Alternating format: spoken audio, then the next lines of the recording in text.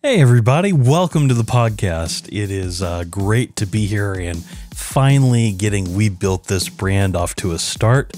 Today's interview is with Jess Gutman. She's a longtime friend of mine. We've worked together in the American Marketing Association. Uh, she was the person who actually nominated me for president at one time and um, just had a great time, great experience working with her over the years. And I'm excited to bring her onto the podcast today to talk about her time at Big Slate Media and the brand that she has helped build there. Now, if you don't know Big Slate Media, they're a full service media production company right here in Knoxville, and they were founded in 2015 by Jonathan Halley. And initially, they focused on being an aerial film and photography company, and then they realized there was a lot more opportunity to be had, and they grew the business from there. And today, we're talking with Jess about when she started working at Big Slate Media, her time there, her tenure, and how she's had a major impact on getting Big Slate Media to where it is today. Now, I'm filming this intro after we've already recorded. And I can just say it was a great conversation with Jess. Really enjoyed our time talking about everything she's learned in her career, where she's at with Big Slate, the things that she has brought to that company, and the way they've grown has just been astounding. As friends of both Jess and the founder, Jonathan, it's been really cool to see them grow. And I, I just, I really think you just need to hear their story. So without further ado, here's my interview with Jess Gutman from Big Slate Media. All right, welcome to We Built This Brand. Jess, thank you so much for coming on the podcast. You're welcome, Chris. I'm excited to be here. Yeah, really excited to have you. You're my first guest. I'm honored, to be quite honest. I am honored that you would ask me, but let alone being asked first. I am truly honored. Thank yeah. you. yeah. Well, you're you're a, you're a great friend and a, a great colleague, and I just felt like you know for starting this first one i wanted someone who if something goes wrong we're good. So absolutely absolutely. No judgment here no judgment here. that's great that's great. Um, well today we're here to talk about your you. We're here to talk about your career history and the the business that you've helped build which is big slate media. Um, so with that said um, we're going to dive right into it. So first thing i'm really curious about is your background. Where what got you interested in PR and marketing to begin with? Yeah, absolutely. So I I, I always tell people that uh, I talked a lot as a child. So ever for, ever since I was you know in elementary school, I was the kid that would get really good grades. Um, but at parent teacher conference, my parents would say, or like the teacher would say to my parents, "She's so great, but she never shuts up. She she just never closes her mouth." So I've known from a young, young age that I wanted to go into some sort of communications related field. Mm-hmm. Um, I also did theater my entire life. I'm a theater kid at heart. Um, and so I've always loved just storytelling um, and communicating with people on a stage as well. Um, so that kind of just led me into that type of field. In high school, I did, you know, our school news show where I was one of the anchors. So I'd consider journalism as well, but um, I definitely wanted a more business focused background. Um, and so when I was looking into the communications college at UT, which is where I went, uh, public relations felt like such a great fit because I was getting the communications education that I wanted with um, a, a, focus in business and how it can help businesses. Uh, so yes, I got my uh, BS in communication from UT, and my major was in PR. And actually, when I was in college, I thought I wanted to go into political communications. Um, pretty glad I didn't do that, just given given current landscapes and uh, my. I, I, can't imagine what you're talking about. absolutely. Um, so that actually led me to when I was exploring internship opportunities. I interned in Governor Bill Haslam's office as a constituent services intern. So I communicated with the public a lot, which was really fun um, and stressful at times, but it was a really fun internship. And I also uh, got my internship at the Knoxville Chamber because of their connection with uh, advocacy and advocating for business friendly policy. So there was a, little bit of a legislative tie in there that initially drew me to that organization. Um, and so when I graduated UT, I actually came on board at the chamber full time three days after I graduated um, as their communications and marketing manager, and was there for about three years. That's that's really awesome. And um, obviously when you started there, like was it everything you expected a, your first job out of college to be? Because I had worked there for a full year while I was in college, it was the perfect transition because I knew I really loved the team. I loved what I was able to do. uh, I, I absolutely loved my job there. Uh, and I look back on it really fondly because it, it taught me a lot, but I was able to do really fun things and meet so many people in the community. Um, which was probably my favorite part is I kind of was in the know on all the businesses in Knoxville because all of our membership base, you know, is hundreds and hundreds of businesses here in Knoxville. Um, so it was what I expected only because I had worked there for a year, but, um, yeah, it was really great um, in terms of it, it, it. was flexible. I had a good time with people. I was doing what I loved, which was um, marketing everything from social media management, website content, email newsletters, uh, print publication writing. I, have always loved writing. I was doing a ton of writing. Um, and while I was there is actually when they handed me two cameras and they're like, oh, and on top of all this, you're going to take all the photo and video at our 200 plus events a year. And I was like, wow okay, because uh, my background is not in production, uh, but I taught myself how to how to shoot and how to uh, how to edit on Final Cut Pro, and that's actually where I kind of got my start in into the production world, which is kind of leads into how I got to Big Slate, actually. yeah, and that's in that time period was actually I think when you met of all people, I think you met my dad before you met me. I did, yeah, yeah. I love Alan. yeah, I, I do too. I'm a little biased, but no, yep, he is definitely AT and T sponsored uh, chamber event, so I, I, just knew him peripherally, but he was always a delight to be around for sure. indeed, indeed. Um, yeah, and then I remember meeting you around that time as well because that's when we first got connected through um, American Marketing Association. I think you were president elect when we met. Is that right? Yeah. So I was actually on the board um, for a few years before we met because that's actually where, how I met Jonathan Halley, who uh, owns Big Slate Media. We met on the board for the American Marketing Association. Oh, yeah. Um, and the rest is history, I guess, because when I was ready to leave um, my job at the chamber, just looking for something a little bit new, um, he said, "Well, I, I Big Slate's growing really fast. Uh, we need some editors. Do you, can you edit? And I was like, I can kind of edit. So I actually started off at Big Slate, um, shooting and editing with them, which is crazy because I do not touch the cameras or any of the editing software now. Yeah. It's, it's gotta be, it's gotta be nice to see how that business has grown. And, um, where did, where did Big Slate get its start? Like, where did everything come from? How did Jonathan come up with the idea? Jonathan was actually, uh, we say he was a web developer in a past life. Um, so he was working at a web development company here in Knoxville, um, and he bought a drone. And that was back in the Wild West era of drone uh, when not everyone had one, people weren't getting them for Christmas and like everyone had a drone. So he was like the drone guy in Knoxville. He had this uh, drone video of a blizzard over Neyland Stadium that like went viral and like was picked up by a few national news outlets, which was pretty cool. So he became the drone guy. Um, and while he was working at this web development company, he started just shooting drone videos for businesses. And then that led to other conversations of like, well, could you actually like shoot a commercial for us? Could you produce other types of content?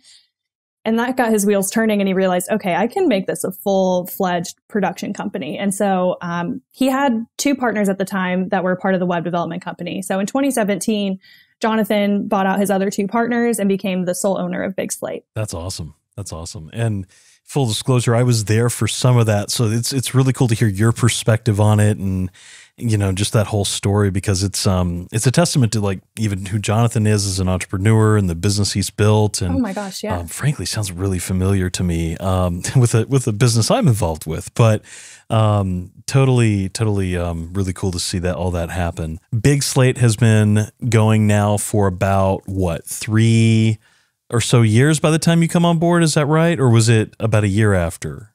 No, 2015 is when it was founded. It was founded 2015. He bought out his partners in 2017. Okay. I came on board, oh gosh, 2018 or 2019. I've okay, so your LinkedIn said 2018. Okay, there you go. I was like, I can't.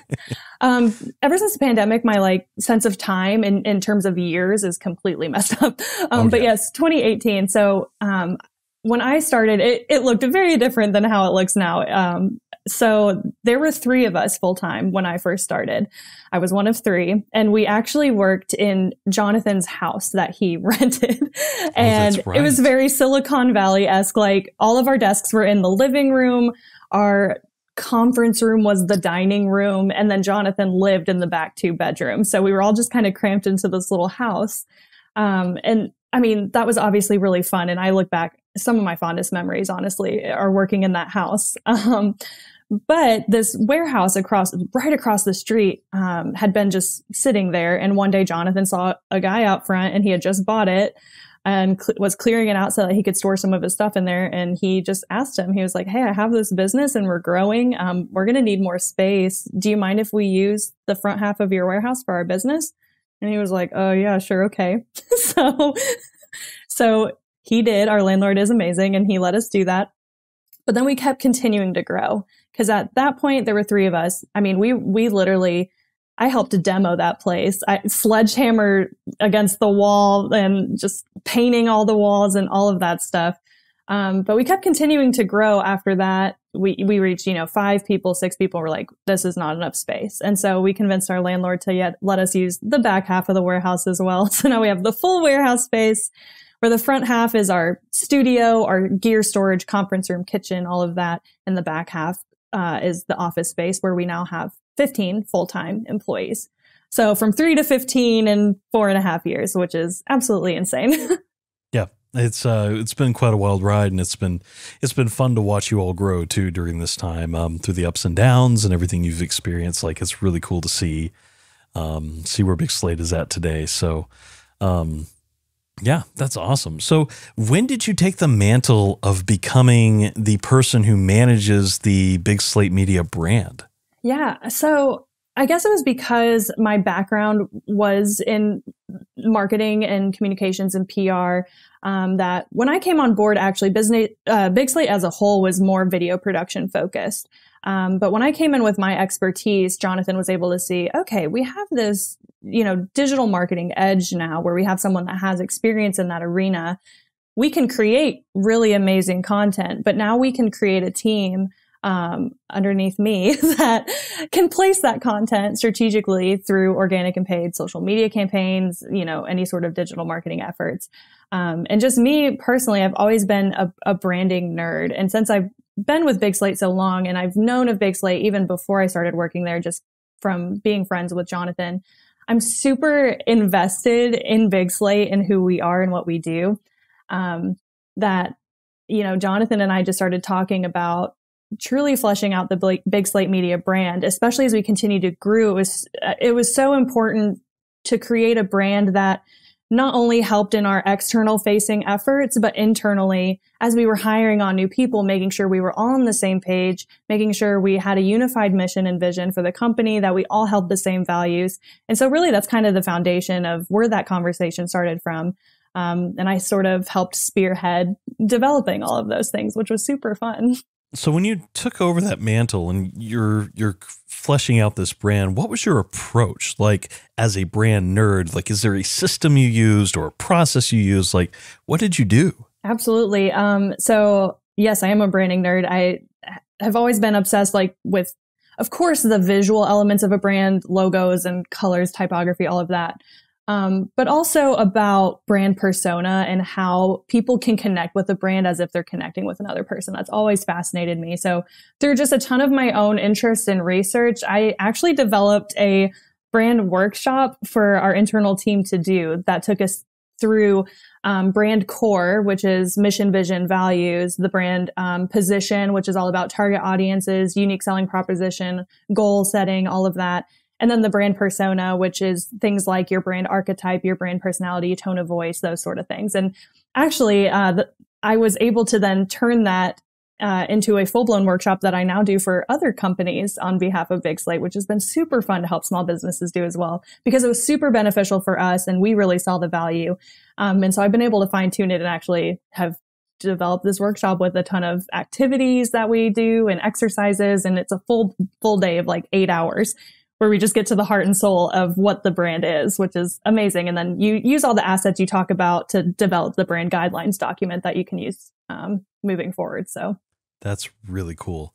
Um, so you, so you're, you've created this whole thing. Is that something you sell through Big Slate now? Is that like you as an independent consultant? Like, how does that work? Yeah, it is through Big Slate, which is awesome. uh, really fun. Yeah, we've done it several times now, and it's it's it just has gotten it it's gotten amazing feedback as well. And it's been super helpful for businesses. And i just love talking about it. I could do it all the time. Um, so yeah. it's been really fun.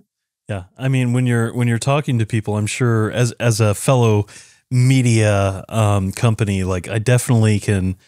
I, I we run into this issue where a lot of times clients come to us with an idea, but they don't really have a brand or they don't really have this concept for what they want, and you have to suss it out of them, and it ends up being almost like cons- like its own mini counseling session almost. I don't want to say it quite like that, but it feels like that at times, Yes. right? No, it absolutely is. It absolutely is because uh, people are really good at getting to the what they do, but not why they do, which is really the key. when you and when you're setting up something like a video or you know something to communicate this is who we are, you have to know that. absolutely, absolutely. Because otherwise, it's just a sales pitch, right? You're telling Right. them what what you do, what you do, what you do. Okay, we know what you do. Why do you do it? Like, what does it mean to you? What do you hope to achieve through it? What? How do you want to help people? Um, that's really the heart and soul of of a of a brand. That's really neat. So you've you've done that, you've developed that out of what you've done with Big Slate. Um, what have been some of the challenges in branding for a company like Big Slate? it, it's constant soul searching, I think, because we started, you know what I mean? You start with a team of three and you get to that point where you're like, okay, yeah, we know who we are. And then you add in a few more people and you're like, they add so much different perspective, new perspectives and new, new thoughts and ideas. And, uh, then you're like, okay, then you got to soul search a little bit again too, to just kind of figure it out. Is this who we still are? Um, but that's important for any brand of any size to do. Uh, we we don't just talk about our brand once, our brand guidelines and like our mission vision once, and then it's that forever. Uh, brands are ever evolving, ever changing. They're living, breathing sort of beings on their own. That as the business continues to grow and change, so will your brand, which means so will your your mission, your values, your vision. It could also change too. So it really is important to revisit those. Um, and we actually do it once a year at, we do two retreats every year as a, as a company and we revisit our brand assets, our brand guidelines document, um, once a year just to make sure we're all still feeling as a collective feeling good about it and that we're still, um, you know, doing the things that we said we want to do. Yeah. So for those who don't know Big Slate, what is the core of your brand? we are a content creation agency here in Knoxville. So we do video production and digital marketing. We have sort of two sides of the house, uh, of the house, primarily video production, but a, a fast growing digital marketing team as well.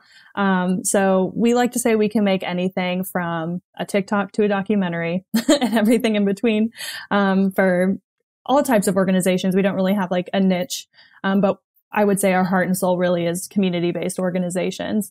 Um, but we've worked with national brands as well to help develop and create um, compelling content. So that's that's what we do and why we do it. We're just we're all super super passionate about helping people convey who they are to their audiences in in, in a way that's authentic. Um, and true to who they are. Um, we truly are just a big group of nerds um, and weirdos. Um, but we have so so much fun. We do amazing work but we have so much fun. And that's a huge part of of jonathan's sort of uh, approach to running big slate is that we're not saving lives. We're making videos. We're, we're making social media content. It's important that at the end of the day we love working with our clients. Our clients love working with us and we love working with each other. So that's truly what matters. So that's that's sort of the heart and soul of of big slate is community and having a good time. And so through how we market ourselves, that's kind of how we come across, I would say, is that we're trying to say we do really great stuff, but we're really fun to work with too. yeah, and and I've noticed that um, in the marketing that you all do and in the branding, it seems like you all aren't just focused on only making stuff for customers either. It seems like there's an element of your brand where it's a really fun place to work. Yes. What do you what do you do to help with that? It's actually um, a huge part of our of our forward facing presence on social media is our people because we we're we just have fun. So we'll you know we'll make funny videos on our own and you know we hang out. So there's always photos of us around the office doing things. And we found actually while we were posting all these photos that the content that performed the best for us are pictures of our faces. You know if if it's anything related to us as people that's really what was resonating with our audience and so of course that became a huge part of our content strategy moving forward Um, so it really came from that's what people really liked to see was the personality behind the company through the individual people that work there. Um, so that that's pretty much why it became such a big focus for us. That's awesome. So going forward, what um what goals do you have for Big Slate's brand or for Big Slate as a whole and what you have to run there? It's fun. I, I would be curious to hear Jonathan's goals as well because they might be sure. different in terms of uh, you know the numbers and growth. But with what you're responsible for, I guess. Right. What excites me the most. So as creative director, I, I do manage the digital marketing side of the house in, entirely. So I have now four people full time that uh, I manage, which is has also been crazy because, you know, even a year ago, I had one person underneath me and now we're up to four. That just shows the insane growth that we've had. Um, so honestly, the digital marketing side of the business, while relatively young in terms of having a full blown team to help manage it and not just me, um, I'm super excited to see that department continue to grow. Um, and we're also doing really exciting things in the form of having a portion of the business solely dedicated to short form video content. We have two guys that are on staff um, that are fully dedicated to creating short form video content for brands, which, as we know right now, TikTok Reels, they are everything in terms of organic reach and engagement.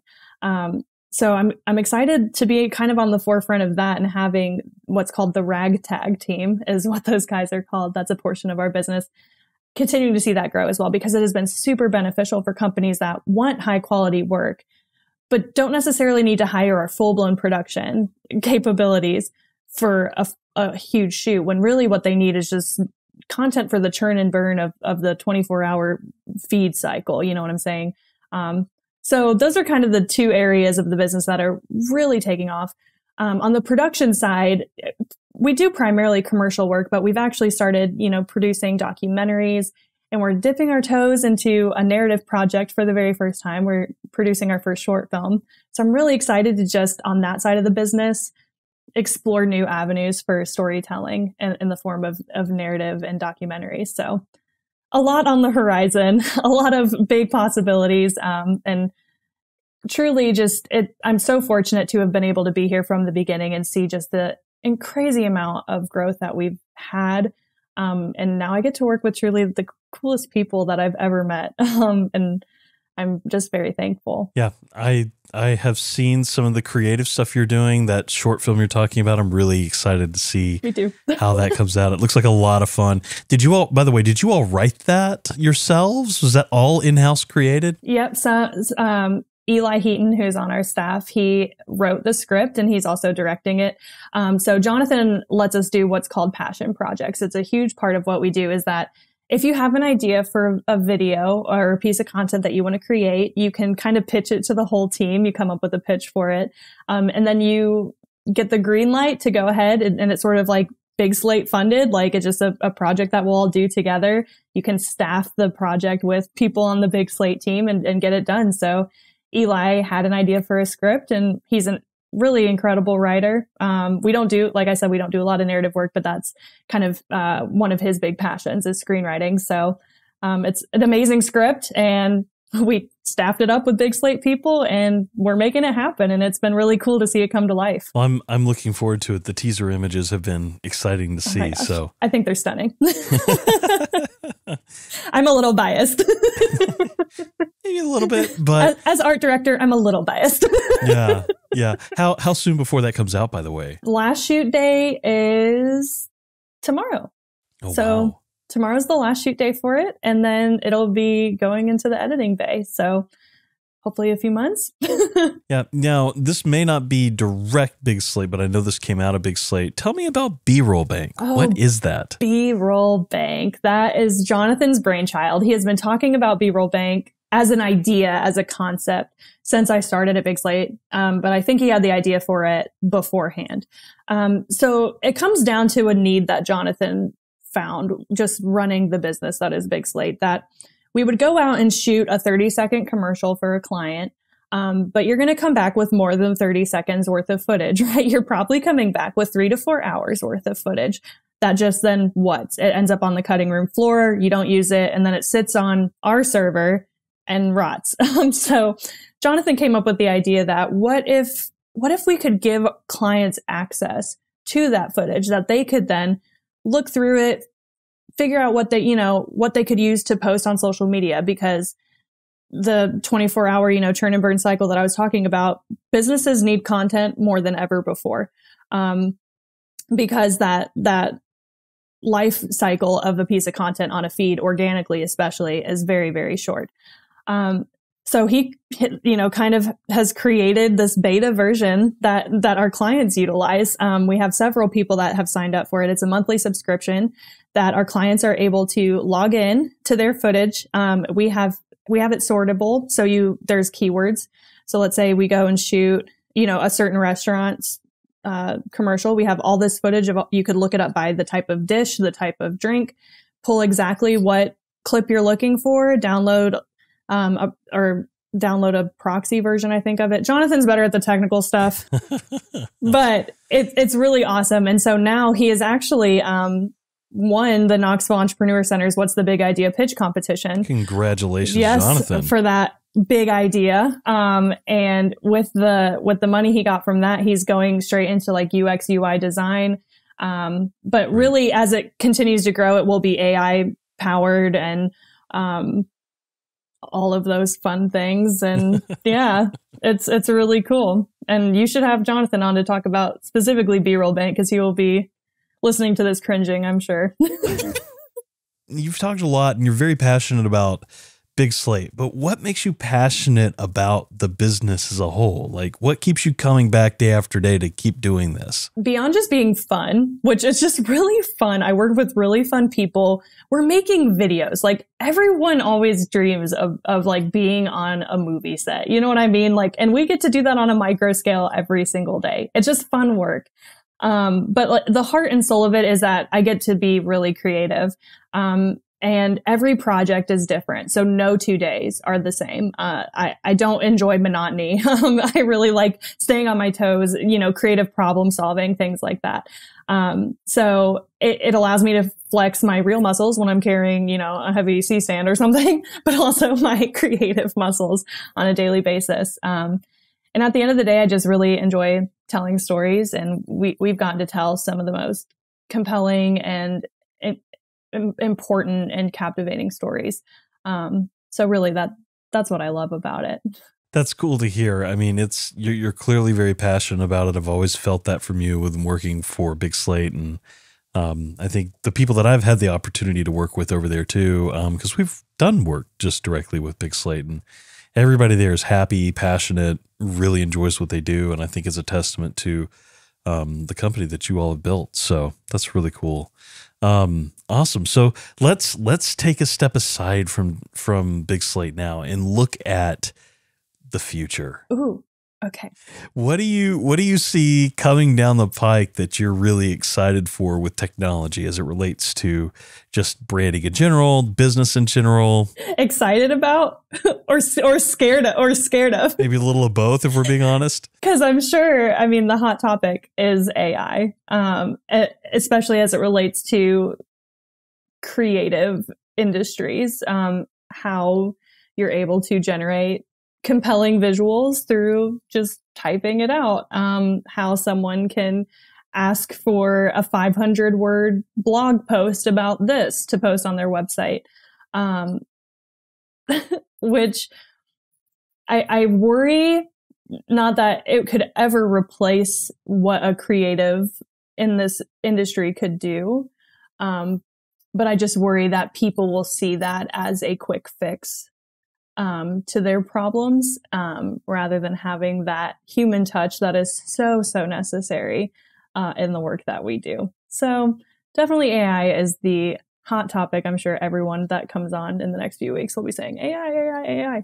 Um, but on a more exciting note, I really, I really do enjoy the the surgence of uh, short form video content that has been at the forefront of everything. I I adore TikTok and Reels. I think um, having that short form video really allows people to be super creative and have to think through not just like what's happening, like what are you doing in this video, but get creative with the transitions, get creative with all of those things to make it compelling enough to get people to watch because people just scroll for hours and hours and hours. So what are you going to have to, what are you going to do to get them to stop? It really, it, it's really like a creative exercise for people. It's like, what's the hook for this? Um, so yeah, short form video, I think will continue to be huge as well. You, we see more and more people, you know, YouTube shorts coming out and all of that.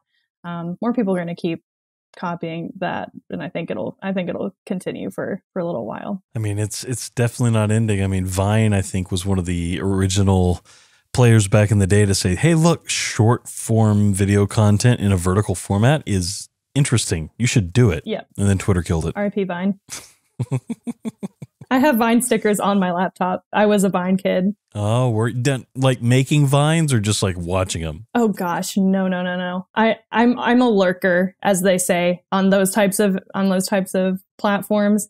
I'm a consumer. I'm I'm not a performer.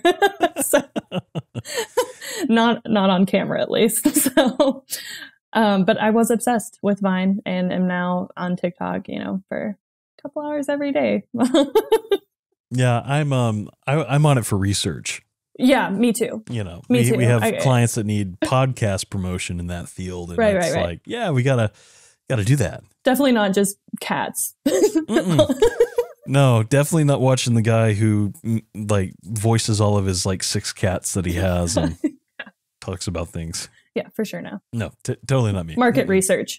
Market research, one hundred percent. Yeah, definitely not getting distracted yeah, during the day. But but it is funny. I actually um there's another podcast called Shameless Acquisition Target. Mm-hmm. If you've not heard it, it's a great podcast. Go listen to it. I haven't. But she talks to some TikTok experts, and they're like, seriously, they told her every day you need to be watching TikTok for at least an hour to get to understand the platform. So it's so true. It's true. You know, I yeah, if you're going to make compelling content on those platforms, you have to spend time on it, especially mm-hmm. because it is so trend focused in terms oh of gosh. trending audios even. Mm-hmm. If you're late to those games, like late to that game, you're you're not going to make it on the platform. If you're posting a trend like 3 weeks after it has died down for the rest of the the public, um, you're just you're just not going to make it. Um, so it is super important to stay in the know and consume it every day because that's how exactly what you said. That's how you learn how to use it best.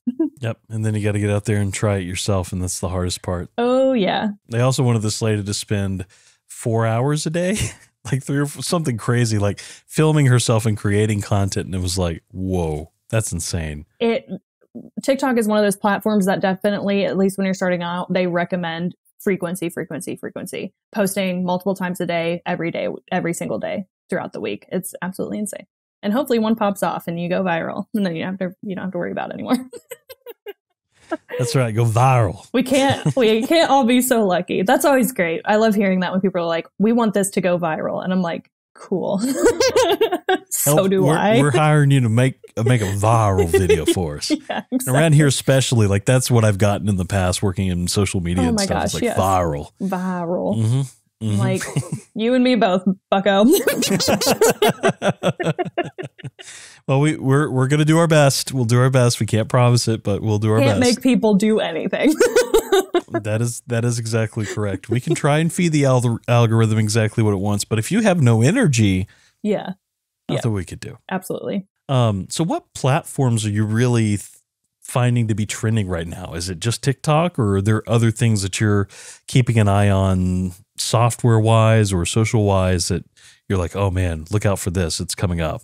TikTok is the big one. Uh, and the mo- definitely the most popular in terms of what people are talking about. Um, and I think it'll continue to be that way unless, you know, they're trying to ban it, I guess, in the, in the US. Um, we'll see. Fingers crossed that that doesn't happen, of course, but that's definitely the biggest right now. Um, Instagram, I think always does the best job at creating new features and, and updating their platform to fit the needs of what people are actually wanting. So I think Instagram, shouldn't be counted out. And definitely with reels, um, particularly with the older generation that feel like they're, they might be too old to be on TikTok.